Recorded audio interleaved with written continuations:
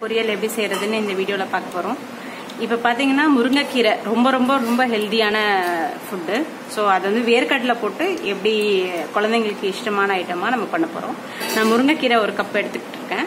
அதுக்கு தேவையான அளவு வேர்க்கடலை எடுத்துட்டு இருக்கேன் பத்து வரமிளகா எடுத்துருக்கேன் ஸோ இந்த வேர்க்கடலையை நல்லா வறுத்து வச்சுருக்கேன். ஸோ வரமிளகாவையும் வறுத்து வச்சுருக்கேன். ஏன்னா இதை நம்ம மிக்சியில் போட்டு பவுடர் பண்ண போகிறோம் அதுக்கப்புறம் எப்படி இது பவுடர் பண்ணிவிட்டு எப்படி முருங்கைக்கீரை பண்ண போகிறதுன்னு சொல்ல போகிறேன் இந்த இவ்வளோ இவ்வளோ முருங்கைக்கீரை எடுத்திருக்கோம் நம்ம. இது எல்லாமே அளவு தான் பார்த்தீங்கன்னா இது ரெண்டு கைப்பிடி அளவு முருங்கைக்கீரை. அதுக்கு நான் வந்து ஒரு இந்த கிளாஸில் ஒரு ஒன்றரை கிளாஸ் தண்ணி வைக்கிறேன். இப்போ பார்த்தீங்கன்னா இதுக்கு தேவையான அளவு உப்பு. நான் இவ்வளோ உப்பு ஆட் பண்ணிக்கிறேன். ஸோ இது வந்து கேஸில் வச்சு இந்த தண்ணியை வந்து கொதிக்க வைக்கணும். கொதிக்க வச்சுட்டு இந்த முருங்கைக்கீரை இதில் ஆட் பண்ண போகிறோம் அது எப்படி ஆட் பண்ணுறதுன்னு உங்களுக்கு காமிக்கிறேன். நம்ம வச்ச தண்ணி பார்த்தீங்கன்னா இப்போ நல்லா சலசலன்னு கொதிக்குது. இது கூட வந்து நம்ம இந்த முருங்கைக்கீரையை வந்து ஆட் பண்ணோம் இது நான் ஆல்ரெடி அலசி வச்சுருக்கேன் முருங்கைக்கீரை. ஸோ அதை நான் இதில் ஆட் பண்ணுறேன் ஆட் பண்ணிவிட்டு முருங்கைக்கீரை வந்து நிறைய வேகக்கூடாது. நிறைய வெந்துச்சுன்னா அது கசப்பு வரும் கசப்புத்தன்மை வரும்.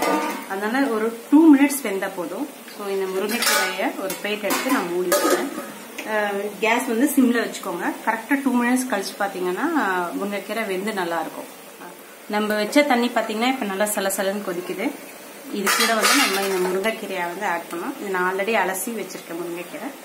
ஸோ அதை நான் இதில் ஆட் பண்ணுறேன் ஆட் பண்ணிவிட்டு முருங்கைக்கீரை வந்து நிறைய வேகக்கூடாது. நிறைய வெந்துச்சுன்னா அது கசப்பு வரும் கசப்பு தன்மை வரும்.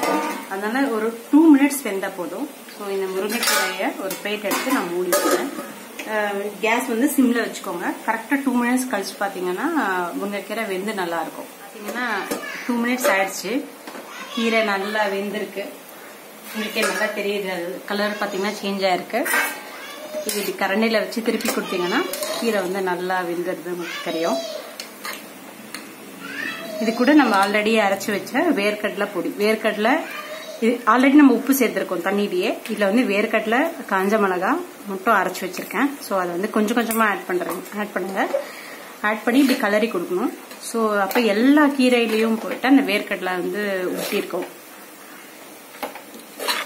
ஒரு ஹெல்தி வேர்க்கடலையும் ஹெல்தியானது ப்ளஸ் முருங்கைக்கீரை வந்து இரும்பு சக்தி நிறைய ஐட்டம்ஸ் இருக்கு. இரும்பு சக்தி தவிர நிறைய விட்டமின்ஸ் இருக்கு முருங்கைக்கீரை.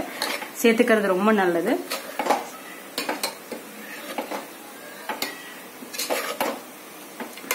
பார்த்தீங்கன்னா எவ்வளோ தேவையோ அவ்வளோ சேர்க்கணும். நான் இன்னும் கொஞ்சம் ஆட் பண்ணலாம்னு நினைக்கிறேன். ஸோ இன்னும் கொஞ்சம் ஆட் பண்ணுறேன்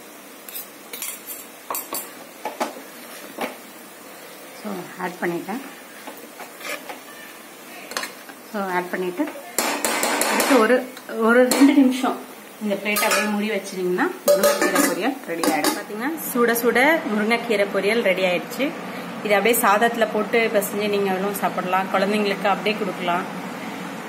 முருங்கைக்கீரை வந்து ரொம்ப நல்லது. ஸோ முருங்கைக்கீரை பொரியல் ரெடி தயாராகிடுச்சு எங்கள் சேனலை லைக் பண்ணுங்கள் ஷேர் பண்ணுங்கள்